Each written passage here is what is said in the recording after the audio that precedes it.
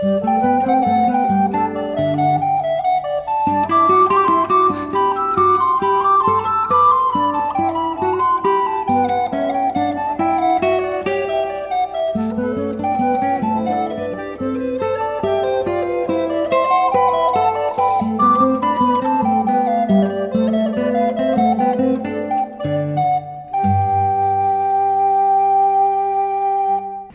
സംഘർഷങ്ങളുടെ ലക്ഷണങ്ങൾ എന്തൊക്കെയാണ്? മാനസിക ആരോഗ്യ വിദഗ്ധനെ നമ്മൾ ചെന്ന് കണ്ടാൽ അവരാദ്യം ചോദിക്കുന്നത് ഉറക്കം എങ്ങനെയുണ്ട്? കാരണം ആദ്യത്തെ ലക്ഷണം ഉറക്കമാണ്. മനസ്സിന് പിരിമുറുക്കവും സമ്മർദ്ദവും കൂടുന്നതനുസരിച്ച് നമ്മുടെ ഉറക്കത്തെ അത് ബാധിക്കും. ഉറക്കത്തിന് പല ഘട്ടങ്ങളുണ്ട്. ചിലർക്ക് വൈകിയേ ഉറക്കം കിട്ടുള്ളൂ. അതിന് ഇനീഷ്യൽ ഇൻസോമിനിയ എന്ന് പറയും. ചിലർക്ക് നേരം വെളുക്കുമ്പോൾ നേരത്തെ ഉണരും. അതിന് ടേർമിനൽ ഇൻസോമിനിയ എന്ന് പറയും. അത് ഒരു മൂന്ന് മണി കഴിഞ്ഞു പിന്നെ ഉറക്കം കിട്ടുന്നില്ല. വേറെ ചിലർക്ക് വളരെ ആഴം കുറഞ്ഞ ഉറക്കമായിരിക്കും.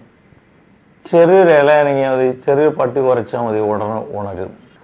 അവർ ഈ അലർട്ട്നെസ് മനസ്സിന്റെ അലർട്ട്നെസ് കൂടുമ്പോഴാണ് ഉറക്കത്തിന് ആഴം കുറയും നല്ല ഡീപ്പ് സ്ലീപ്പ് ഉണ്ടെങ്കിൽ കിടക്കുന്ന ഒരു അരമണിക്കൂറിനകം ഉറങ്ങുന്നു. രാവിലെ വളരെ ഉണർവോട് കൂടിയിട്ട് തൃപ്തിയോട് കൂടിയിട്ട് ഉണരുന്നു. അങ്ങനെ വരുമ്പോഴാണ് അത് ഒരു നല്ല ഉറക്കം എന്ന് പറയുന്നത്. അപ്പോൾ ടെൻഷൻ കൂടുന്നവർ പലരും പറയും എനിക്ക് ഉറക്കം കിട്ടിയിട്ട് പല വളരെ ദിവസങ്ങളായി. നന്നായിട്ട് ഉറങ്ങിയിട്ട് പല ദിവസങ്ങളായി. എനിക്ക് ഉറക്കത്തിൽ ഞാൻ ഞെട്ടി ഉണരുന്നു. ഉറക്കത്തിൽ എഴുന്നേറ്റ് നടക്കുന്നു സംസാരിക്കുന്നു. ഇതൊക്കെ ഉറക്കത്തിന്റെ സ്ലീപ്പ് ഡിസ്റ്റർബൻസ് ആണ്. അപ്പോൾ ആദ്യത്തെ ലക്ഷണം ഉറക്കത്തെ ചുറ്റിപ്പറ്റിയാണ്. ഉറക്കത്തിന് തൃപ്തി കിട്ടുന്നുണ്ടോ സന്തോഷം കിട്ടുന്നുണ്ടോ? മാനസിക ആരോഗ്യ വിദഗ്ധൻ രണ്ടാമത് ചോദിക്കുന്ന ചോദ്യം വിശപ്പ് എങ്ങനെയുണ്ട് നീ?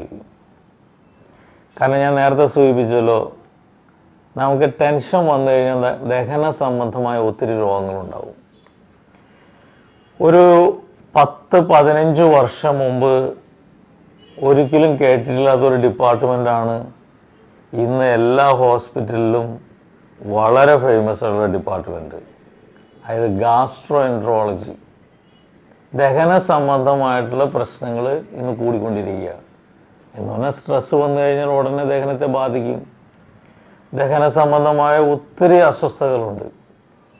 വളരെ ഫേമസ് ആയിട്ടുള്ള ഒരു ഡോക്ടർ അദ്ദേഹത്തിന്റെ പ്രിസ്ക്രിപ്ഷനിൽ ഞാൻ ശ്രദ്ധിച്ചിട്ടുള്ള ഒരു കാര്യം.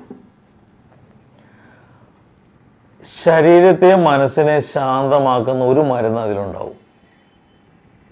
കാരണം മനസ്സ് ശാന്തമാകുമ്പോഴാണ് നമ്മുടെ സിസ്റ്റം നോർമലൈസ് ചെയ്യുക. സിസ്റ്റം നോർമൽ ആകുമ്പോഴാണ് ദഹന പ്രക്രിയ ഭംഗിയായിട്ട് നടക്കുക. കാരണം ദഹനം ഭംഗിയായിട്ട് നടക്കണമെങ്കിൽ ഒത്തിരി എൻസൈം ദഹന രസങ്ങൾ അതുമായിട്ട് മിക്സ് ചെയ്യണം. ഇപ്പം ഞാൻ ക്ലാസ് എടുക്കുമ്പോൾ ശ്രോതാക്കളോട് ചോദിക്കാറുണ്ട് എപ്പോഴാണ് ഈ ദഹനം നടക്കുക? അപ്പോൾ ചിലർ പറയും ഭക്ഷണം കഴിഞ്ഞ് അരമണിക്കൂർ വേറെ ചിലർ പറയും ഭക്ഷണം കഴിച്ചു തുടങ്ങുമ്പോൾ വേറെ ചിലർ പറയും നമ്മൾ വായിൽ ഭക്ഷണം ഇട്ടിട്ട് ചവച്ചരയ്ക്കുമ്പോൾ വേറെ ചിലർ പറയും നമ്മുടെ ഉമിനീരുമായിട്ട് മിക്സ് ചെയ്യുമ്പോൾ. അങ്ങനെ പറഞ്ഞു പറഞ്ഞ അവസാനം ഏറ്റവും അവസാനം വന്ന ഒരു സ്റ്റേജ് അതായത് ഭക്ഷണത്തെക്കുറിച്ച് ഓർക്കുമ്പോഴേ ദഹനം ആരംഭിച്ചു കഴിഞ്ഞു. കാരണം അതിനോട് നമുക്ക് താല്പര്യം വന്നു കഴിയുമ്പോൾ ആ ഭക്ഷണത്തിന്റെ രുചിയെക്കുറിച്ച് ഓർക്കുമ്പോൾ അതനുസരിച്ച് ദഹന രസങ്ങൾ പുറ- പുറപ്പെടുവിക്കുന്ന ഗ്രന്ഥികൾ പ്രവർത്തിച്ചു തുടങ്ങും ഈ ഗ്രന്ഥികളുടെ പ്രവർത്തനം സുഗമമായി കഴിയുമ്പോൾ ആ ദഹന രസങ്ങളുമായിട്ട് മിക്സ് ചെയ്ത് ചെല്ലുമ്പോഴാണ് ആ ദഹന പ്രക്രിയ ശരിക്കും നടക്കുക. അപ്പോൾ ഭക്ഷണത്തിലൂടെ താല്പര്യം വേണം. താല്പര്യം വരണമെങ്കിൽ വിശപ്പുണ്ടാകണം. വിശപ്പുണ്ടാകണമെങ്കിൽ ദഹനം ഭംഗിയായിട്ട് നടക്കണം. ഈ പ്രക്രിയ മുഴുവനും ടെൻഷൻ അല്ലെങ്കിൽ മാനസിക സമ്മർദ്ദം തടസ്സപ്പെടുത്തും. അതുകൊണ്ട് ഭക്ഷണപരമായിട്ടുള്ള കാര്യങ്ങൾ ദഹനപരമായിട്ടുള്ള കാര്യങ്ങൾ വിശപ്പ് പരമായിട്ടുള്ള കാര്യങ്ങളൊക്കെ ഇതിന്റെ ഒരു ലക്ഷണമാണ്. ചിലർ പറയും ഞാൻ ഭക്ഷണം കഴിക്കുന്നു എന്നേ ഉള്ളൂ. എനിക്ക് രുചിയില്ല ടേസ്റ്റ് ഇല്ല താല്പര്യമില്ല. വേറെ ചിലർക്ക് ഭക്ഷണത്തിലുള്ള ആസക്തി കൂടും. അങ്ങനെയുള്ളവരാണ് ഒബീസിറ്റി ഉള്ളവർ ടെൻഷൻ വരുമ്പോൾ വിശപ്പ് കൂടുന്നവർ കൂടുതൽ കൂടുതൽ ഭക്ഷണം കഴിച്ച് അവർ വണ്ണം കൂടുതൽ വെച്ച് തുടങ്ങും.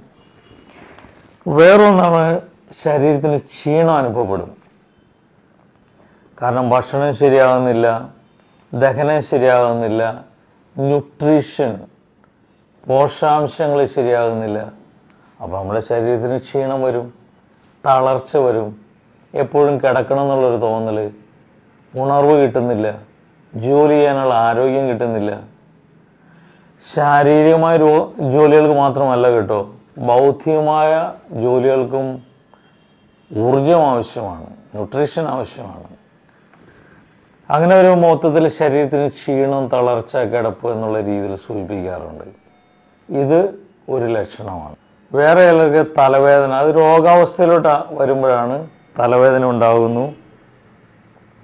അവ്യക്തമായിട്ടുള്ള ചില വേദനകൾ ഇന്ന് ഇവിടെ ഇടത് കൈക്കായിരിക്കും വേദന നാളെ പുറത്ത് വേദന ഈ വേദന ഇങ്ങനെ ഓടി നടക്കുന്ന വേദന അവ്യക്തമായ വേദന പ്രത്യേകമായൊരു കാരണമില്ലാത്ത വേദന ഇതൊക്കെ ഇതിന്റെ ഒരു ലക്ഷണമാണ്.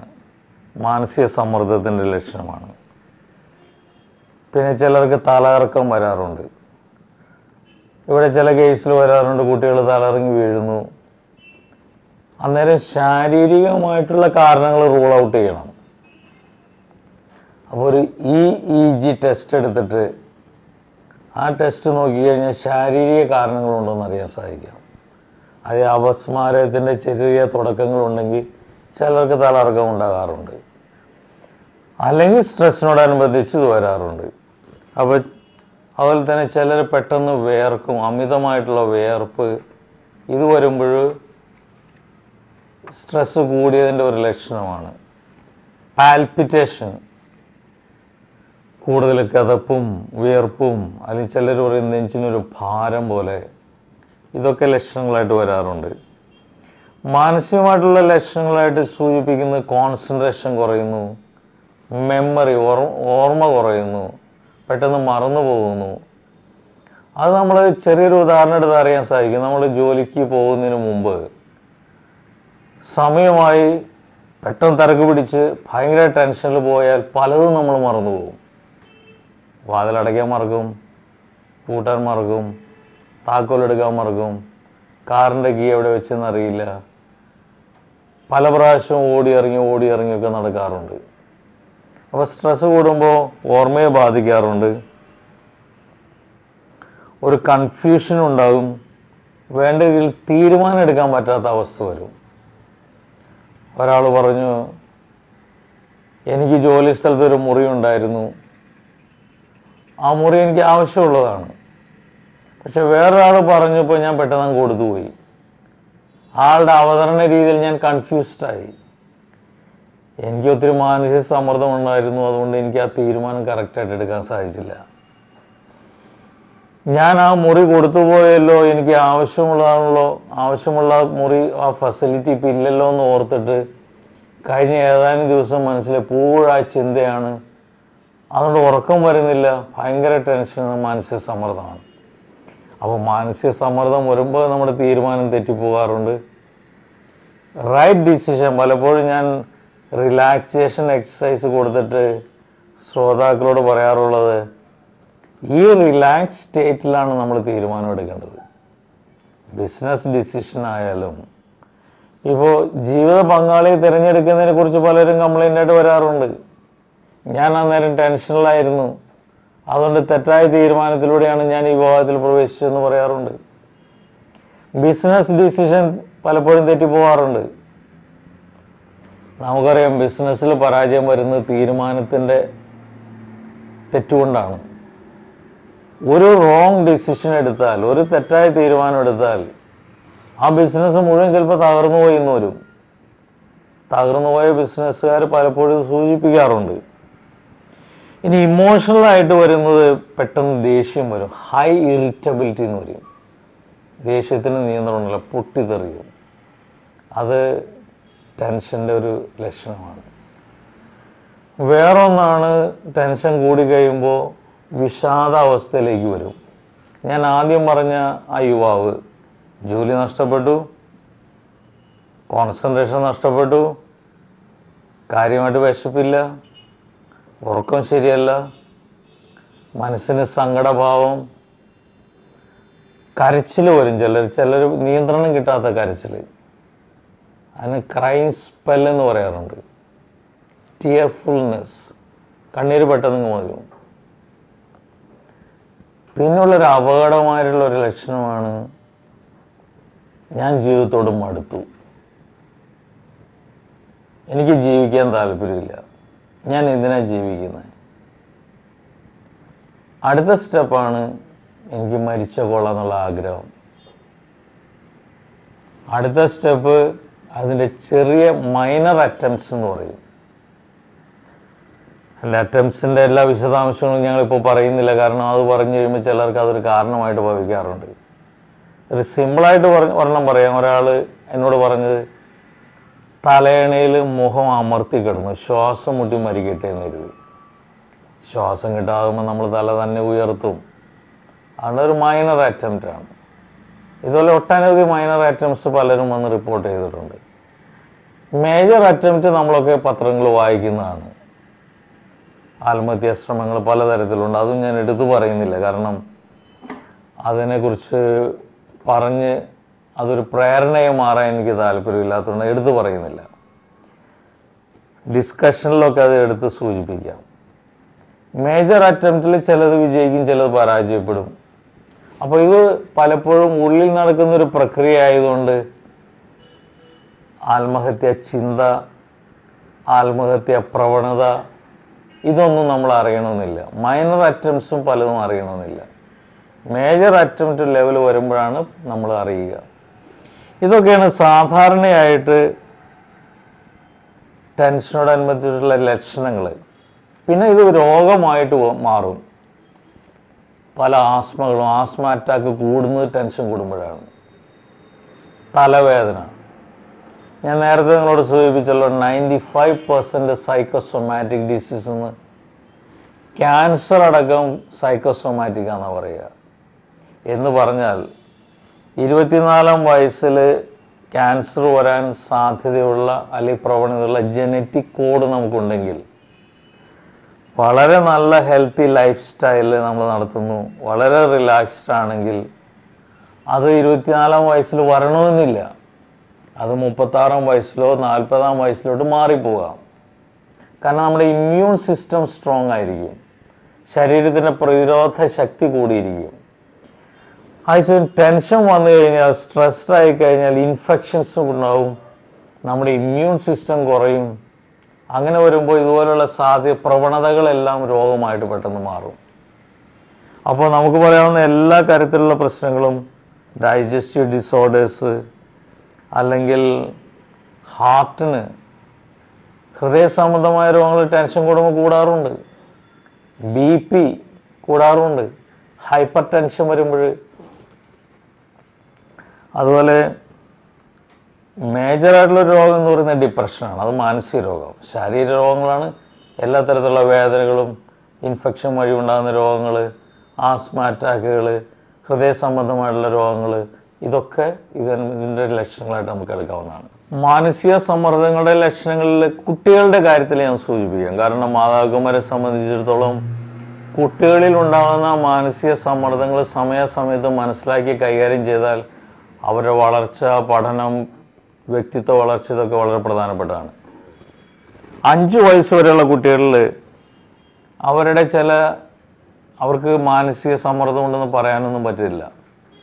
അവരുടെ ലക്ഷ്യങ്ങൾ മാതാപിതാക്കളെ മുറുകെ പിടിച്ചോ കെട്ടിപ്പിടിച്ചോ നിൽക്കുക അവർക്ക് ആ സെക്യൂരിറ്റി ഫീൽ ചെയ്യണം. സാധാരണ കൂടുതൽ കരയുക കാരണം അവർക്ക് വേദന ഉണ്ടാകുമ്പോഴാണല്ലോ കരച്ചിലുണ്ടാകുന്നത്. ശരീരത്തിൽ ചൂടിന്റെ അളവിൽ വലിയ വ്യത്യാസം ഉണ്ടാകുക വിരൽ ചപ്പുക പലപ്പോഴും കുട്ടികൾ പറഞ്ഞിട്ടുണ്ട് എപ്പോഴും തം സക്കിങ് അത് അഞ്ച് വയസ്സോ അല്ല അത് കഴിഞ്ഞിട്ടും അങ്ങനെ തം സക്കിങ് ഉണ്ടെങ്കിൽ അതൊക്കെ സ്ട്രെസ്സിന്റെ ടെൻഷന്റെ ലക്ഷണങ്ങളാണ്. കിടക്കയിൽ മൂത്രമൊഴിക്കുക ബെഡ് വെറ്റിങ് അത് കൗമാര കൗമാരപ്രായമായിട്ട് നിലനിൽക്കുന്നു. വളരെ ചെറിയ പ്രായത്തിലുണ്ടാകും സ്വാഭാവികമാണ്. പക്ഷേ പ്രായം കൂടുന്നതനുസരിച്ച് അഞ്ച് വയസ്സൊക്കെ ആകുമ്പോൾ തന്നെ ബ്ലാഡർ കൺട്രോൾ കിട്ടേണ്ടതാണ്. അതില്ലെങ്കിൽ സ്ട്രെസ്സിന്റെ ലക്ഷണമായിട്ട് നമ്മൾക്ക് കണക്കാക്കാവുന്നതാണ്. ഇരുട്ടിന് ഭയമുണ്ടാകുക. ഇതൊക്കെ സമ്മർദ്ദത്തിന്റെ ലക്ഷണം ആകാവുന്നതാണ്. ആണ് എന്ന് തിരിച്ചു പറയാൻ പറ്റില്ല അഞ്ച് വയസ്സിലൊക്കെ. ഇനി ആറ് മുതൽ പതിനൊന്ന് വയസ്സ് വരെയുള്ള കാലഘട്ടത്തിൽ ഉണ്ടാകുന്ന ചില ലക്ഷണങ്ങൾ വയറുവേദന തലവേദന അമിതമായ വിശപ്പ് അല്ലെങ്കിൽ വിശപ്പില്ലായ്മ എപ്പോഴും ബാത്റൂമിൽ പോവുക ഉറക്കത്തിലുള്ള പല്ലുകടി ഇതൊക്കെ ഉണ്ടാകാറുണ്ട്. പിന്നെ നഖം കടിക്കുക ദുസ്വപ്നങ്ങൾ കാണുക നൈറ്റ് മെയർ അല്ലെങ്കിൽ നൈറ്റ് ടെറർ എന്ന് പറയുന്നത് സ്ലീപ്പ് ഡിസ്റ്റർബൻസ് ആണ്. ഇവയൊക്കെ വേറെ ചില ലക്ഷണങ്ങൾ വാശി പിടിക്കുക അമിതമായ കൊഞ്ചൽ നുണ പറയുക ദേഷ്യം പ്രകടിപ്പിക്കുക അക്രമോത്സുകതയാകുക അസ്വസ്ഥതയൊക്കെ കാണിക്കുന്നത് പിന്നെ പരീക്ഷയിൽ മാർക്ക് കുറയുക ഇതൊക്കെ ചെറിയ ലക്ഷണങ്ങളായിട്ട് നമുക്ക് കാണാവുന്നതാണ്. ഇനി പന്ത്രണ്ട് മുതൽ പതിനെട്ട് വയസ്സുള്ളത് അപ്പോൾ കൗമാരപ്രായമായി സമ്മർദ്ദത്തിന്റെ ലക്ഷണങ്ങൾ വ്യത്യസ്തമായിരിക്കും. ചിലർ കൊച്ചുകുട്ടികളെ പോലെ പെരുമാറും അതിന് റിഗ്രഷൻ എന്ന് പറയും. അത് ഞാൻ ഒരു കേസ് പഴയ ചർച്ചകളിൽ വന്നിട്ടുണ്ട്. അത് പതിനെട്ട് വയസ്സായ ഒരു പെൺകുട്ടി മാതാപിതാക്കന്മാരായിട്ട് ഇടപഴകുമ്പോൾ രണ്ട് മൂന്ന് വയസ്സിന്റെ ലെവലിൽ കൊഞ്ചലുണ്ടായിരുന്നു എന്ന് ഞാൻ സൂചിപ്പിച്ചിട്ടുണ്ടായിരുന്നു. ഉത്തരവാദിത്തങ്ങൾ ഏറ്റെടുക്കാനായിട്ട് താല്പര്യം കാണിക്കില്ല. അല്ലെങ്കിൽ സ്കൂളിൽ അല്ലെങ്കിൽ കോളേജിൽ പോകാനുള്ള താല്പര്യം കുറയുന്നു. പിന്നെ കൗമാരപ്രായത്തിൽ ആത്മഹത്യാ ചിന്തകളും പ്രവണതകളും കൂടുതലായിരിക്കും. അത് ഞാൻ പാമ്പറിങ്ങിനെ കുറിച്ച് സൂചിപ്പിച്ചപ്പോൾ വിശദമായിട്ട് ചർച്ച ചെയ്തിട്ടുള്ളതാണ്. ചുരിദാർ ചോദിച്ചു കിട്ടിയില്ല ആത്മഹത്യ ചെയ്യുന്നു. അപ്പോൾ കൗമാരക്കാരുടെ ഇടയ്ക്ക് അങ്ങനെയുള്ള പ്രവണതകൾ ഉണ്ടാകാറുണ്ട്. ഇതൊക്കെയാണ് ശാരീരികമായിട്ടും മാനസികമായിട്ടുള്ള സമ്മർദ്ദത്തിന്റെ ലക്ഷണങ്ങൾ